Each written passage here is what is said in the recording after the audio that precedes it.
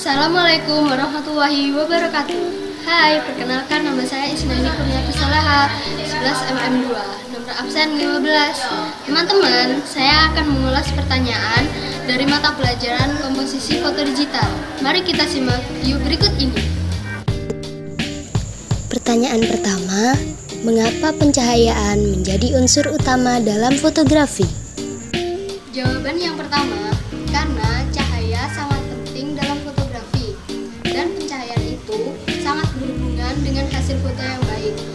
tidak ada pencahayaan, maka hasil foto yang dihasilkan adalah gelap.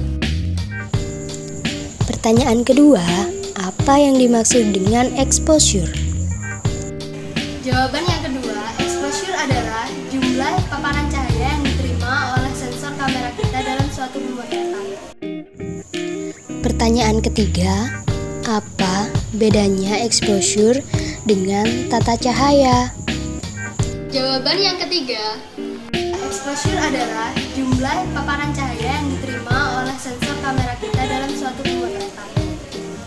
Sedangkan tata cahaya adalah seni pengaturan cahaya dengan mempergunakan alat pencahayaan agar kamera mampu melihat objek dengan jelas. Pertanyaan keempat, berapa sumber cahaya yang Anda ketahui?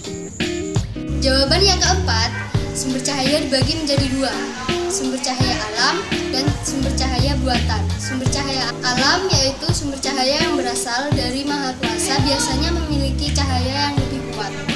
Contohnya matahari, bulan, bintang, dan lain-lain. Sumber cahaya buatan, sumber cahaya yang dapat dibuat atau diciptakan oleh manusia. Contohnya lampu pijar, neon, lampu kilat, lilin, lentera, dan lain-lain.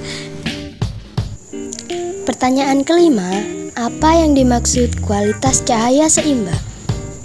Jawaban yang kelima, kualitas cahaya seimbang adalah cahaya yang masuk ke dalam lensa kamera tidak lebih dan tidak kurang, maka hasil foto yang didapatkan akan lebih baik.